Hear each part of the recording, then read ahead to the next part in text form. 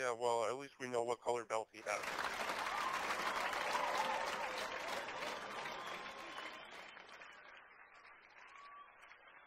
Really? And down?